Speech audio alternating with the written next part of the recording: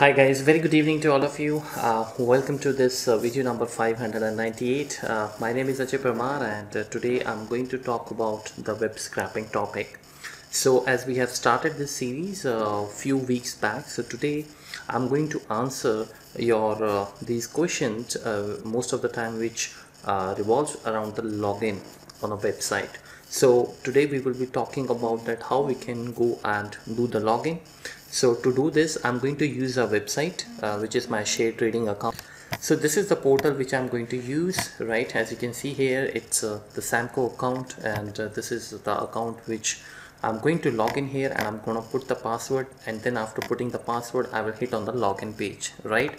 So this is the same thing you can go and use in your the own website as well right? Now guys if you have joined uh, recently and uh, you're following the channel maybe for uh, for from last week or maybe you know one month. Then i just wanted to tell you one thing that because a lot of you ask me that since there are so many videos so how to go and check the videos you know you have to click on the playlist. If anyone who does not know anything about the playlist then this is the icon. When you go and click on my channel you find here 51 playlist and this is the Excel VBA web scraping series. So click on click there and find out these four videos. Some of the videos are in Hindi language so if you do not know Hindi you can avoid it okay? So these are all the different different playlists which I have created. This channel is dedicated for those professionals or those wannabe professionals who want to enter in the Excel VBA Access and Access VBA okay so guys uh, let's go and start the topic now. So so let us go and uh, you know hit on the developer tab. Now if you haven't watched the previous videos you can go after watching this video and go and check out uh, some of the very important step uh, you know stuff about the web scraping because I talked about the web uh, scraping classes there right? So I'm not really going to repeat all that stuff. In this case what we are going to do uh, the idea is first of all we will go and browse the website and once we you know browse the website using uh, obviously this shdocvw class we will go and launch our website okay on this internet explorer i mean so first we go and launch the internet explorer. I take you to the visual basic. Let's quickly go and write it. So if you remember in the previous session when we did the web scraping last time we had activated two libraries. One is the microsoft internet controls and the second is the microsoft html object library. Now this is something mandatory for you. You have to activate these libraries in the vba window. Html library helps helps us in actually going inside the HTML document which is the front page of the your website right? And the internet controls obviously uh, we are going to use it because we need the uh, browser uh, where we go and you know uh, put the uh, website URL okay? So this browser which I'm going to use is the Internet Explorer right guys? So this is the first step you need to do. Now uh, I simply go and quickly write this the program. So let's say we, we will write here a login okay? Now what I want to do is I quickly want to first of all launch my Internet Explorer. So this is how you write dim is and then you go and use this shdocvw class and then Internet Explorer and then set i equals to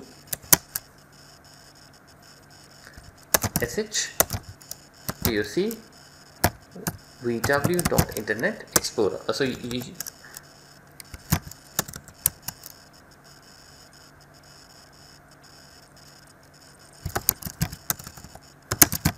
internet explorer right? New internet explorer and we are going to make it visible. The next step which we will do is we will go and navigate the website okay? So i simply go to my this website and i go and copy this path which is start.samco.in so this is the path i'm going to copy okay?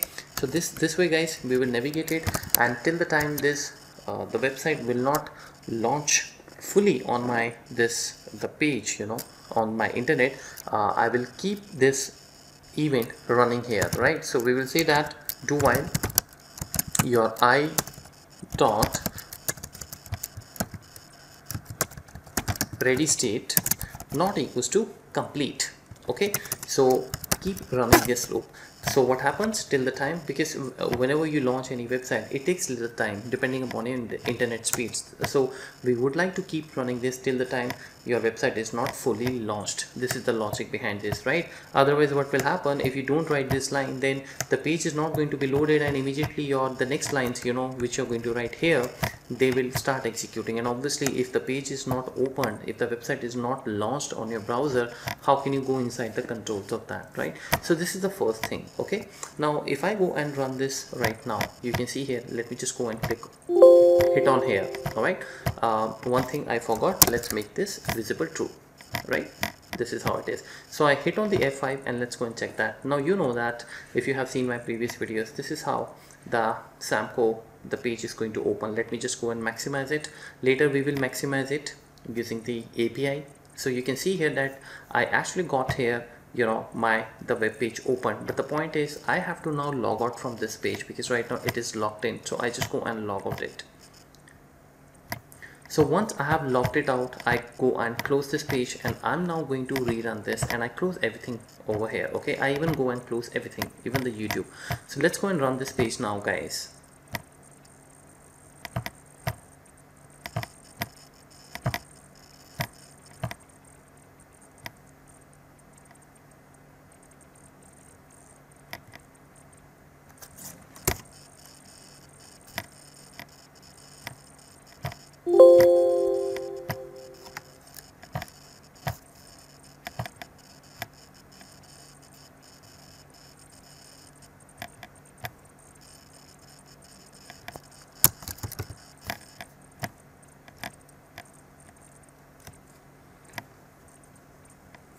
so I hit here and now this is going to be the login page which is going to come. You can see here I have launched this. Now here we need to go to the username and the password. Now the next thing which we want to do is since you have opened the internet internet explorer and you navigated the website the next step for us is to go inside this document. So this entire page is called the document right? So to define the document I simply go and quickly write here then idoc let's say as then you go and write uh, you use the you know this eh, a ms html class and here we have the the document okay? So i say i will simply go and write here html document and then set i doc equals to this is your internet i dot document. So this way what will happen you are able to create here idoc as the internet you know that website document okay? So you are going to refer to it uh, to the front page of the website which you're going to launch. So this is very important right? Now the next thing which we want to do is um, you have to go and check that when this program when this website was designed what names sort of you know they have given these to both these input boxes. Input box or what is it? I don't know but then what you need to do is you just go here click here and you know right click here and say that inspect element so when you go to any of the website and you right click and see inspect element what happens? It takes you to the html page right? As i explained in my previous video sancho now here you need to understand a little bit of the html guys right? And i had explained it in my all those three four videos right? So um, but i still try to explain here. Now what happened? The line is going to be highlighted so i'm just waiting for that so that i can go and see that the, you know the line which is going to be highlighted here that means the that particular line is used to design this the you know the username and the the password the place. You can see here it's it, it is taking little time but this line finally is highlighted. So when you go to your website and you you know uh, click on any of those uh, the boxes where you go and log in just right click and you will see this page okay? Irrespective of your the browser. But uh, anyways we are using the internet explorer here okay now I explained this in my previous videos that so when you write the input input basically is what? Input is a HTML code. These are all called the tags. This is something uh, like we use in the user forms you know? When you when you create the excel vb user forms you create the text boxes. In the text boxes user go and put some information right? So in the same way if you go and write the html uh, and you want to uh, use uh, you want the user to enter something you know in the box in the form of in the uh, in the form of text box you know then this is what you use. Okay so you can use the input box.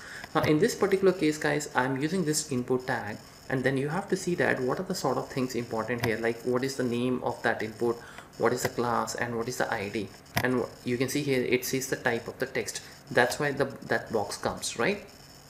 So now the thing is uh, one thing which is very much clear is that this is the input tag okay? And this is the input tag and the name and the id both are given. So maybe i can go and pick up let's say id or name whatever i want to pick up right? So id is uname and the name is the username right? So now what i will do is i will directly target these attributes in my VBA coding and I'll say that go to the username of the input box and just type in there the my login ID okay? So how we are going to write this? This is something you need to understand okay? So so when you know the name of this import there are several ways of doing it right? You can run the loop also. You can write uh, uh, the uh, you know that uh, you can also write that in the input and then there is a item dot inner text equals to you know whatever you want to write in there. But uh, the very simple uh, line which you can write is you simply write here idoc and all and in the all you know you just go and write your the name of that the the control. So you see that i'm uh, they have mentioned here the username. So you can go and write here the username right? And then simply just go and write here the username value has to be what right? So here uh, let's say I'm gonna write here my login password right? So I just go and write my login password. And then similarly uh, the another thing which you will do is you simply go and write here that idoc dot all. And then what do you need to write? In the dot uh, you have to check that what is the name defined for the password okay? So what we will do is uh, right now I just backspace it and uh, I minimize this and I close this uh, and I go in the password now and I hover my right click here and I say inspect element. So we go to the now the password this input box and we see that what is the name given to this password okay? So let's wait for this. The the page is going to take us to this. So you can see here this input box has a name called the password okay? So this is what I'm going to use here. Now so I say that idoc dot all and then I say that the password. So you can definitely write here the password dot value. So whatever password I mean you have okay? So I'm gonna write here the password so guys once you are done with this now if I just go and run this okay? If I go and run this entire page quickly and uh, let's see that uh, are we able to put all these values in the username and the password? So I go and first of all close this entire page. Now I'm going to hit on this you know I'm, I'm quickly going to run this website. So let's go and run this. So I click on the F5 now we will like to see that if in our document idoc are we able to put the username and the password? So let's go and check that. So you see the page is loading. So do while this event is running right? So now the page I think is done. And uh, yeah so I can go and maximize this to see that what is uh, what has happened. And you can see here that I have got my login ID created here okay? My login ID is punched in and my this password is also punched in. Okay? So this is how you can now put the your credentials okay the username and the password. Now the next thing which you want to do is you want to go to this login page. And obviously in this login page now you would like to click. So if you remember in the previous video what we did is we first of all uh, you know found out whether it is a button it, it is a a tag or what is it you know. Because in html documents you have the a tags you have the buttons like you have the div tags you have the input tags which I just you know showed you. So in order to find it out what we will do we will right click on this login and we will say inspect element. It's very simple guys right? Every time you have to go and check the uh, the you know uh, the tag which is used and for every tag we have a different different ways of doing it. So let's go and check that. So let me see what uh, exactly the tag is. So I go and uh, so let's wait for this. It's taking little time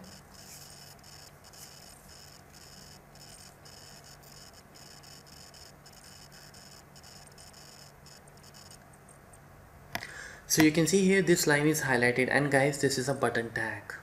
You remember the last video where we talked about this but that was a different scenario. Here we have a different scenario. Now I know that this is a button tag. So in this button tag I'm using the login called login underscore btn okay? So how to do this? Now what I will do is I will quickly go and now this button understand the concept.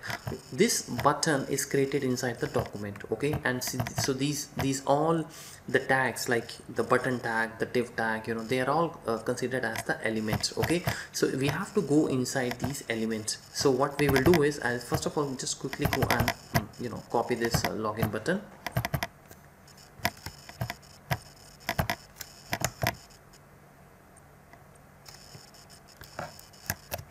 okay I have copied this ID now what I will do is because I have to go under this button tag so what what is the next step? Now the thing is if you have created the explorer you have launched the explorer using this class. Now in this explorer you have a document which is the front page right? In that front page you have so many items to click right?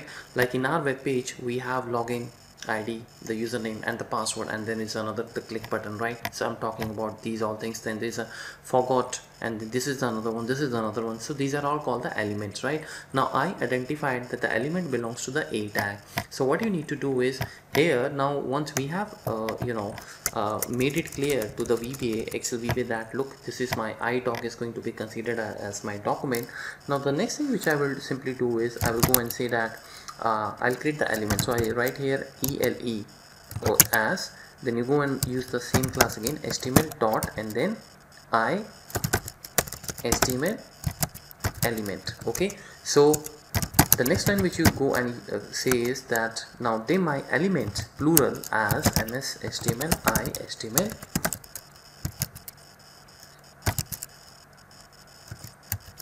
collection element collection okay? Now here you need to define this. So we are going to run the collection loop. We will say that for every element which belongs to the uh, your your button tag if the id is going to be this then go and click on that element. This is how we go and write the you know things. So my element is going to be my idoc get element. So my element because it is a part of my document which is a part of my internet explorer you know so what happens internet explorer in the sense that because in, on the internet explorer your website is launched right? So the, we are following the proper hierarchy. We are starting from the parent element and then going to the child element. So i see that game uh, you know get elements by the tag because your button is a tag guys. So you go and use the button right? So this makes sure that element is going to be considered as a button tag. Now which button tag? We don't know. So what we will say we will say that for each element in my element you know next element so this loop this is a collection loop right? I hope you know the collection loops. After all you're learning the web scraping so this which is a very advanced stuff. So collection loops are the loops where we can go and access the different different objects which falls under the same category right? So uh, and by the way you can go and check my for each uh, of uh, if you want to know more about the for each these collection loops you can go and check the playlist excel VBA collection loops. There are i think 20 to 25 videos there. So now i simply say that if my element you know that the name is going to be equals to so i go and say that if element name is going to be equals to control v and this is the you know if you remember the name of that the the button right? So then i say that just go and click on that dot click so that's how you write it. And if it is not the case then simply go and else and say end if. That's it. Okay? So this is the macro I have written here. Now the point is what I will do is I will just quickly go and run this and let's see that if we are able to click on this or not right? So once again I make sure that I'm using the right thing and there we go. You can see here guys it's the ID tag. It's the id attribute of this button tag. So my mistake. It's not the name actually.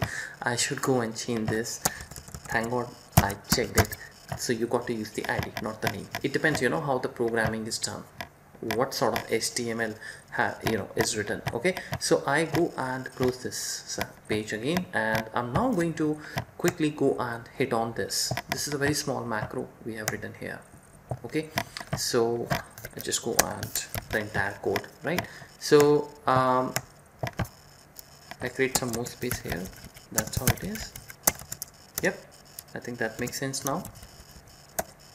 So I go and hit on the F5 now let's go and check that. So you see that the page has launched and I'm sure the credentials will go there and once the credential will go we will have you know the login. Okay? You can see here guys. Wow fantastic. So you can see here I am able to log into my this entire page. So simple right? Anyways let me log out from this. So that's how guys you can use these uh, tags. Okay and you can log into any of the website right? So this is the code for you and you can note it down and uh, just go and try on it. If you find any difficulty in your uh, work let me know about it share the code with me and I'll sort out the issues okay? So signing off right now. Thank you so much for watching this video. Bye bye